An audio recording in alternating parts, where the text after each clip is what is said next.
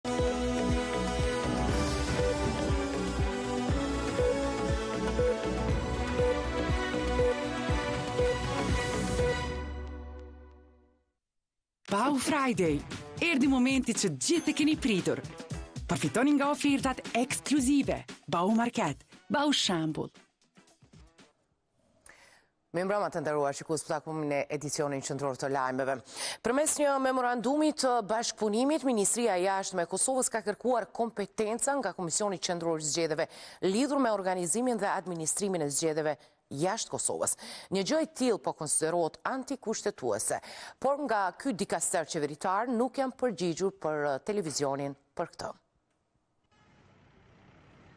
Është institucioni përgjegjës për organizimin e zgjedhjeve në Kosovë. Por një kompetencë të KQZ-së dëshiron ta marrë edhe Ministria e Punëve të Jashtme dhe Diasporës. Përmes një memorandumi të bashkëpunimit të cilin e ka publikuar Gazeta Nacionale, kjo ministri ka kërkuar organizimin e zgjedhjeve të nëntë shkurtit në diasporë.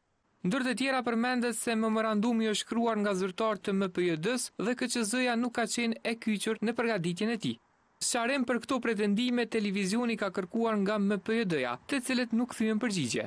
Për ish-ambasadorin e Kosovës në Gjermani, Blerim Canaj, kjo kërkesë përbën shkelje të rëndë të Kushtetutës. Ministria s'ka drejtë me u marrë me ato, përpos nëse ia kërkon KQZ-ja përkrahjen, po jo që ministria të iniciojë dhe të marrë dhe t'i organizojë zgjedhjet, për shkak se tek e fundit është edhe antikushtetuese, do të thotë automatikisht është shkelje kushtetuese. A, po tashti po vërehet një tendencë që e mobilizimit të diasporës dhe shpresat e partisë në pushtet që prapë ta mobilizojnë diasporën. Përgjigje në pyetjet e T7 nuk dhanë as nga Komisioni Qendror i Zgjedhjeve. Nga ky institucion treguan se deri të mërkurën nga mërgata janë regjistruar mbi pesëmbëdhjetë mijë persona. Deri më tani përmes platformës elektronike janë pranuar rreth gjashtëmbëdhjetë mijë e njëqind kërkesa për regjistrim, prej të cilave janë aprovuar pesëmbëdhjetë mijë e katërmbëdhjetë, ndërsa janë refuzuar një mijë e shtatëdhjetë e nëntë të tjera. Javë më parë, Ministria e Punëve të Jashtme dhe Diasporës ka kërkuar nga ambasadorët dhe drejtuesit e misioneve konsullore që të sigurojnë hapësira të reja për votimin e diasporës për zgjedhjet nacionale. E prej përfundimit të zgjedhjeve lokale 2021 dhe deri në muajin gusht të vitit 2024, rreth 40.000 emra të personave të vdekur janë larguar nga lista votuese, ka njoftuar Komisioni Qendror i Zgjedhjeve. Në kuadër të përgatitjeve për organizimin e zgjedhjeve për Kuvendin e Kosovës të datës nëntë shkurt dy mijë e njëzet e pesë, është duke vazhduar periudha për kundërshtimin e pasaktësive në listën preliminare të votuesve. Kjo periudhë ka filluar më njëzet e nëntë gusht dhe do të përfundojë më njëzet e tetë dhjetor dy mijë e njëzet e katër. Pra, deri në këtë kohë, votuesi mund të kundërshtojë listën preliminare të votuesve edhe për ndonjë emër të ndonjë votuesi për të cilin pretendon se nuk duhet të figurojë në këtë listë, përfshirë edhe rastet kur në këtë listë figuron emri i ndonjë personi të vdekur, thuhet në njoftim. Sipas KQZ-së, çdo votues mund të kontrollojë të dhënat e tij, përfshirë edhe qendrën e tij të votimit në platformën elektronike, ndërkaq për të kundërshtuar pasaktësitë Në listën preliminare të votuesve, votuesi duhet të identifikohet me njërin nga tri dokumentet, letërnjoftim i vlefshëm, pasaportë e vlefshme dhe leje e vozitjes e vlefshme.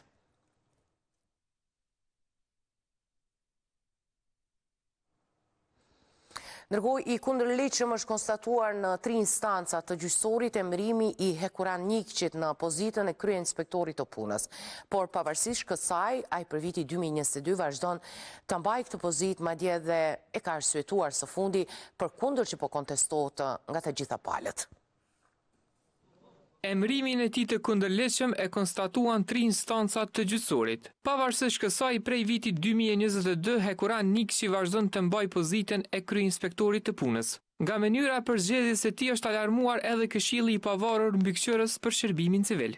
Ky institucion ka kërkuar nga qeveria anulimin dhe shpalljen e konkursit të ri, sipas ligjit për zyrtarët publikë, por kjo nuk është marrë parasysh. Nga Shoqata Sindikale e Shërbyesve Civil thonë se emërime të tilla kanë pasoja më të mëdha. Për mu si përfaqësues të shërbimit civil, si sindikalist dhe si përfaqësues i punëtorëve dhe si jurist, ky dërgon sinjal të qartë tek punëdhënësit, tek Bizneset që ju mund të silleni si të doni me punëtorët apo versioni ma i mirë është silleni siç sillem unë. E Naim Jakaj nga Instituti i Kosovës për Drejtësi thotë se mosrespektimi i vendimeve të gjykatave është shkelje penale që po e bën Ministria e Financave. Prodhohet kundërligjshmëria dhe prodhohet vepra penale e cila sipas Kodit Penal është mosekzekutimi i vendimeve gjyqësore që pason pastaj edhe nisjen e hetimeve dhe ngritjen e aktakuzës ndaj personit i cili nuk e zbaton vendimin e shkallës së fundit të gjykatës. Pavarësisht fakteve, për Hekuran Nikqin më i rëndësishëm se vendimi i gjykatave është ai i Ministrisë së Financave. Pse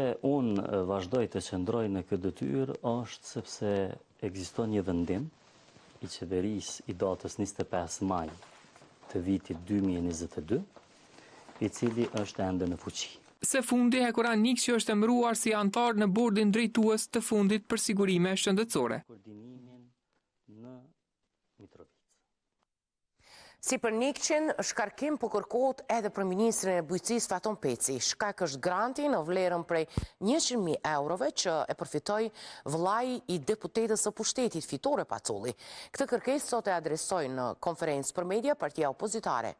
PDK.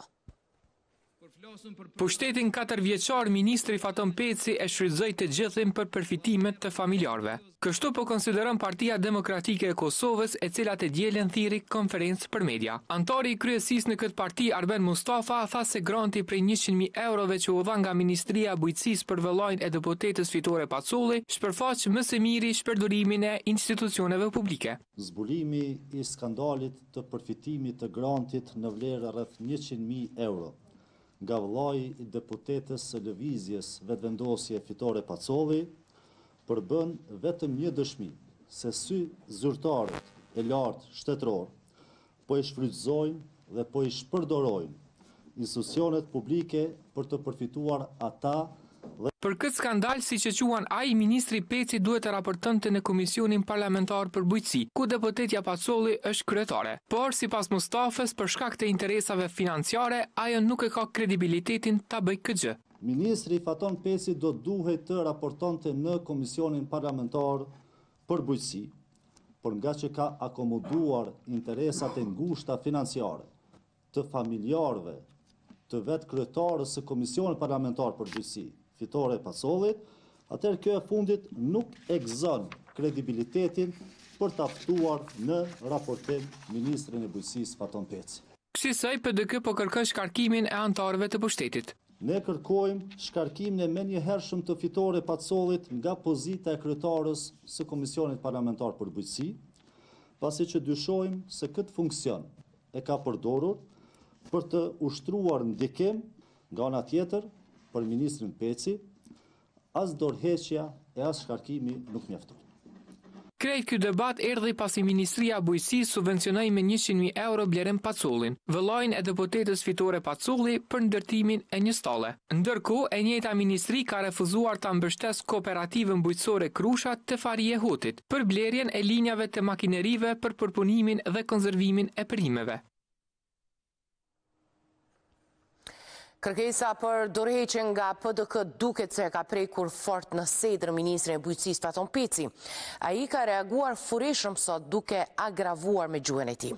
Peci përplot vetëbesim u shpreh se nuk do të munden ta ndalin as me hunj as me plumba, teksa i ka quajtur zyrtarët e PDK-s kriminelë e horra. Secili sulm i juaji është i kuptueshëm, sepse suksesi në sektorin e bujqësisë e ndryshimi është aq radikal saqë vështirë është të përpihet nga ju. Bile ky ndryshim radikal ju tmerron sepse nuk mund ta imagjinoni që instalacioni kleptomaniak i qeverisjes suaj më nuk ekziston. Është përtej realitetit tuaj meritokracia si bazë e parim.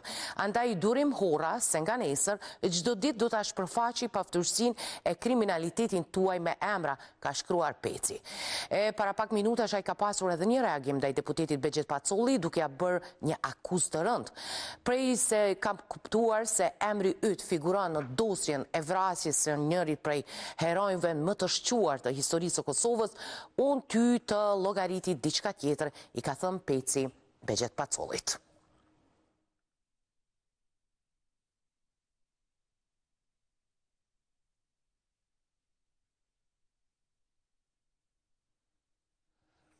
Në reagimin e tij, Peci nuk përmendi Kooperativën Bujqësore Krusha, e cila ka reaguar sot duke thënë se pavarësisht rolit të rëndësishëm në eksport, nuk kanë marrë asnjë mbështetje nga Ministria e Bujqësisë.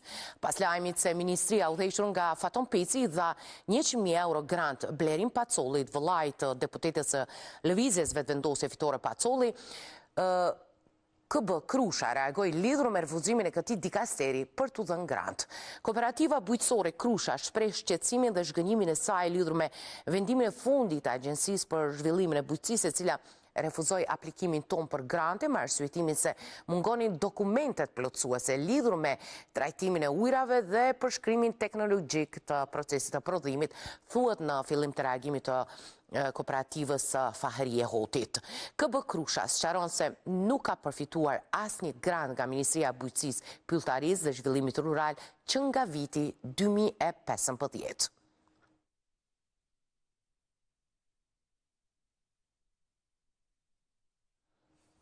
Ankesa të një natyre tjetër po kanë qytetarë të Shtimes.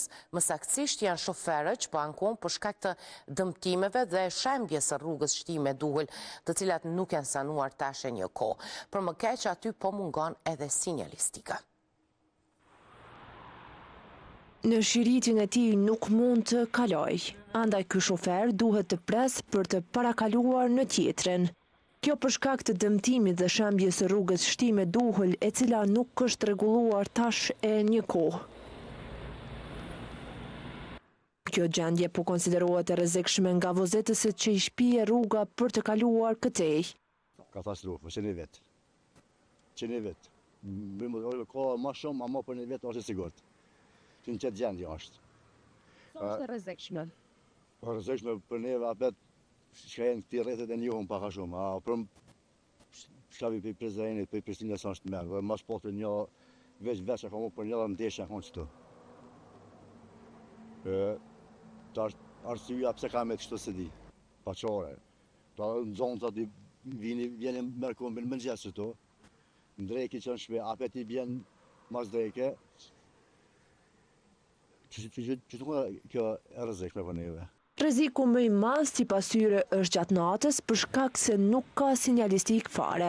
Po ko ko gjo ni kohë e gjatë është s'e di sa i ka pesë gjashtë muaj mos më shumë nuk e di për afërsisht I bie goxha shpesh knena, e që është rrezik shumë i madh, sidomos natën posaçërisht, se shumë është kthesë, shumë afër diktohet dhe shenjat ka pak po pak sinjalistikë kështu. Andaj në çdo formë vozitësit po kërkojnë ndërhyrjen e institucioneve.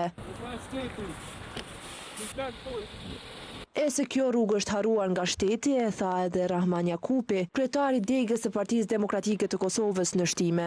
Pothuajse është një kohë të gjatë atje, pothuajse më shumë se një vit dhe qeverisja aktuale, si qeverisja në nivel qendror dhe kjo në nivel lokal, nuk kanë arrit me e mbyll edhe është rrezik i madh për të gjithë shoferët të cilët kalojnë çdo mëngjes aty, çdo ditë, çdo mramje, mirëpo është rrezik i madh edhe për këmbësorët dhe për fëmijët të cilët qarkullojnë në atë pjesë. Të shtata ka provuar të marrë një qëndrim edhe nga Ministria e Infrastrukturës se përse kjo rrugë nuk është rregulluar, por të njëjtit nuk kanë kthyer përgjigje. Mbesim te Komuna e Shtimes, flasim për rregullimin e shtratit të lumit Shtimjana, për çka qeveria ndau plot pesë pikë. pesë milionë euro. Kryetari Qemajl Aliu në një intervistë për të shtatë tha se po bëhet një zgjidhje e problemit të kamotshëm, me të cilin janë përballur qytetarët e njoftoi edhe për një varg punësh që po i kryen qeverisja e tij.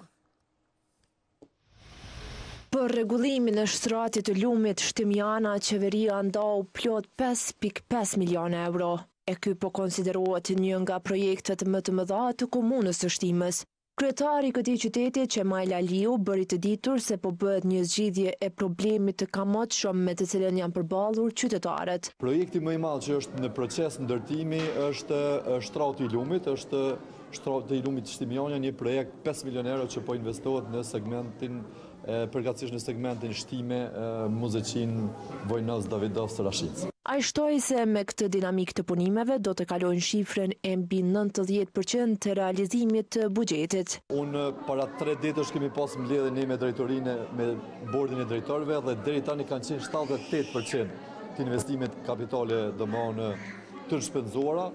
Dhe me këtë kohë të mirë dhe me këtë dinamikë të punës që po punohet gjithandej territorit të komunës tonë, ne mendojmë që edhe këtë vit, sikurse vitin e kalum, do të kapim shifrën mbi 95% të realizimit të buxhetit. Aliu ka edhe një përgjigje rreth ankesave të mësimdhënësve se furnizimi me dru nuk është kryer ende dhe si pasojë kanë të ftohtë kur moti është i ligë. Një herë ka dështu procedura e prokurimit dikur nga shtatori. dhe me sa kam informacione nga drejtoria e prokurimit, sot, dje dhe sot është në proces të nënshkrimit kontratës, kështu që nuk mendoj që do të kemi shqetësime në këtë drejtim. Kryetari i Shtimes u zotua se shumë shpejt do të gjendet një zgjidhje rreth kësaj problematike. Nga Shtimja kalojmë në Podujevë, Erduar Ejupi, i biri i ish-luftëtarit të UÇK-së e nënoficerit të FSK-së, Baki Ejupi po e vazhdon një traditë që e nisi i ati i tij, tashmë i ndjerë shtatë vite më parë. Ai ka vendosur katërqind e dyzet e katër flamuj nga rrethi që njihet si i Shqiponjës në Podujevë e deri në Merdar. Flamurin për të cilën luftoi babai i tij me shokë po e vendos në secilën shtyllë të ndriçimit. Erduar Ejupi, i biri i ish-luftëtarit të UÇK-së e nënoficerit të FSK-së Baki Ejupi, po e vazhdon traditën që e nisi i ati i tij tashmë i ndjerë shtatë vite më parë. Mu për këtë arsye, katërqind e dyzet e katër flamuj janë bërë gati për t'u vendosur nga rrethi që njihet si i Shqiponjës në Podujevë deri në Merdar. Atij iu bashkuan edhe kolegët e babait për ta vazhduar traditën e nisur nga ai. Së bashku me bashkëluftëtarët e tinaj, jemi duke vazhdu një amanet të tij, i cili ka qenë edhe ideator i stolisjes me flamuj këtë rrugë, e cila çon në Merdar për nder të Festave të Nëntorit. Sipas veteranit të UÇK-së, Kosum Kosumi, këtë aksion i cili tashmë është i përvitshëm, do ta vazhdojnë edhe më tutje. Tash që po shihni kemi fillu stolisjen e rrugës me flamuj për nder të festave nëntorit. Kjo stolisje fillon prej rrethit Shqiponjës deri në Merdare. Kjo stolisje është si vazhdimësi e idesë së shokut dhe bashkëluftëtarit tonë tash Nuk jeton në mesin tonë, Baki Ejupi, e ne një grup shokësh, së bashkë me familje, dhe gjithmonë n'bashkëpunim dhe koordinim me organizatën e veteranëve t'luftës. Ai tregoi se numri i flamujve që i kanë përgatitur nuk është krejt rastësor. Gjithsej do të vendosen katërqind e katërdhjetë e katër flamuj që është një koincidencë që lidhet me, jo me mishin, po qindëshin e vitit 1444, domethënë me 444, me kryengritjen e, e Gjergj Kastriotit Skënderbeut në, në Krujë. Në këtë aktivitet morën pjesë edhe organizata e veteranëve të luftës Dega në Podujevë, të cilët e përkrahën këtë nismë.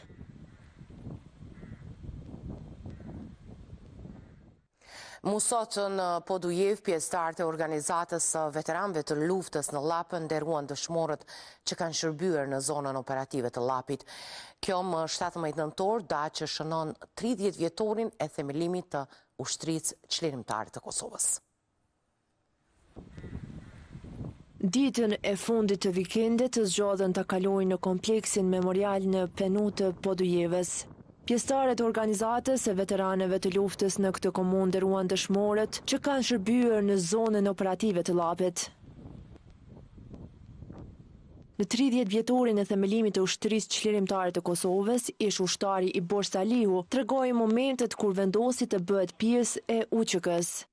Lajmi për themelimin e Ushtrisë Çlirimtare të Kosovës ka qenë lajm shumë i mirë, po me të vendosur për të shkuar dhe për t'u bashkangjitur këtyne grupeve guerilje në fillim, domethënë ka qenë një përgjegjësi edhe qysh se ka qenë edhe mosha është e re, por kemi ndjerë një përgjegjësi sepse e kemi ditë që nuk është lehtë.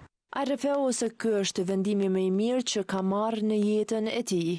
Vendimi është vendimi ma i lumtur, domethonë kur kemi marrë vendim me shku m'u bashkangjit, edhe me drojë se ne kur jemi bashkangjit ka qenë shumë vonë, për kohën ma herët kur kanë fillu grupet guerile, edhe e kemi ndje përgjegjësi për Me e zhvillue ma tej domon ushtrinë deri në çlirim. Momentin kur u themelua UÇK-ja e ka të freskët edhe kryetari i OVL-UÇK-së në Podujevë, Rafet Llapashtica. Ky muaj përkon me tridhjetë vjetorin e emërtimit të njësiteve guerile të Ushtrisë Çlirimtare të Kosovës, Është organizata më e rëndësishme në vendin tonë prej kur asht, ka pas grupe luftra organizata mirëpo Ushtria Çlirimtare e Kosovës e ka kurorëzue lirinë e vendit tonë. Llapashtica në këtë përvjetor përmendi ish-krerët e UÇK-së në Hagë. Na edhe sot drejtuesit e Ushtrisë Çlirimtare të Kosovës gjinden në një vend në një gjykim të padrejtë i cili do të triumfojë. Kanë triumfuar këtu, besoj që edhe atje do të triumfojnë. Më shtatëmbëdhjetë nëntor të vitit një mijë e nëntëqind e nëntëdhjetë e katër ishte marrë vendimi për të themeluar UÇK-në. Kjo iniciativë kishte ardhur si rezultat i një sërë veprimesh paraprake dhe gjithashtu edhe si pasojë e gjendjes së rënduar atë kohë në Kosovë, pas dhunës dhe maltretimit të vazhdueshëm ndaj popullit nga regjimi i Sllobodan Millosheviqit. Ani pse më shumë se dy dekada kanë kaluar nga lufta, mbetet i pazbardhur fati i 1643 personave të zhdukur. Nga Komisioni Qeveritar për Personat e Zhdukur konfirmojnë gërmimet në 5 lokacione brenda Kosovës, ku dyshohet se ndodhen më shumë se 900 viktima të luftës.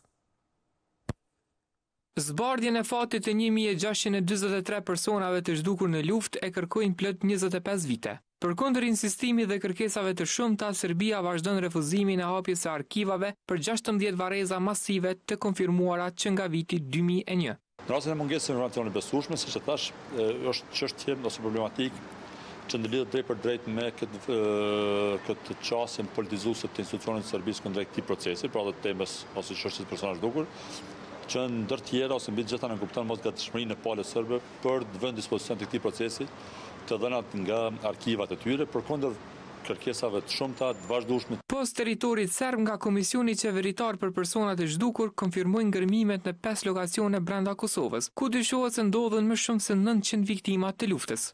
Ne jemi dakorduar, meqë gjatë këtyre gjashtë muajve të parë të vitit, ne kemi adresuar dikun të paktën pesë lokacione nga takimi i 30 janarit, në Serbi nuk ka pasur asnjë gërmim në asnjë lokacion. Në takimin e datës dy korrik të grupit të punës dhe takimin e datës nëntë korrik në nivel të ekspertëve mjekoligjorë, jemi dakorduar që të paktën të ketë tri lokacione në territorin e Serbisë. Sipas Garës, brenda territorit të Kosovës kanë arritur t'i procedojnë nëntëmbëdhjetë lokacione dhe të gjitha kanë rezultuar me raste të mbetjeve mortore. Pavarësisht që Serbia ka vazhduar me politizimin e skajshëm të vazhdueshëm të këtij procesi, megjithatë duhet të theksuar faktin që në territorin e Republikës së Kosovës kemi arritur ose kemi proceduar në kuptim vlerësimit diku në 19 lokacione dhe nga këto 19 lokacione sigurisht që jo të gjitha kanë rezultuar me gjetje dhe zhvarrosje të mbetjeve mortore, megjithatë janë raste në kuptim të adresimit të informatave që kemi pranuar nga